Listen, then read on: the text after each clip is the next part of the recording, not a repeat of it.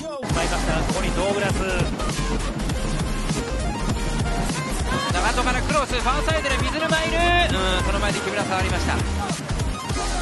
マルコ・ジュニオールの落としここで木村が縦アダユトン。中岡からのボール。これは木村が跳ね返していく小池が行く木村が触ってタッチに逃れました。ここも前から行きます。かわし入った木村。さあ間を使ったここで受けたと立ってから藤本に出る木村も行く体を当てるここはいいカバーリングを見せました木村ですね引き出しやそういったとこ使っていくかですね山口寄せる木村長使ったつま先でボールあのシュートを決めにいったような感じでしたね VR チェックまさに今のボールなんか速いボールでセンターを使ってこぼれて関川そういう部分ってますかね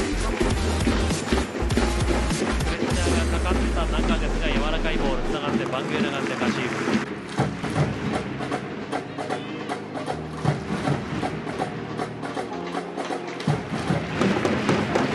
速いボールでセンターを使ってこぼれて関川そういう部分ってますねカスで取ります。鈴木優馬から仲間。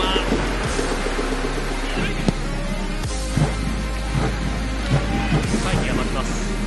これは選手いいですね。ですねすると。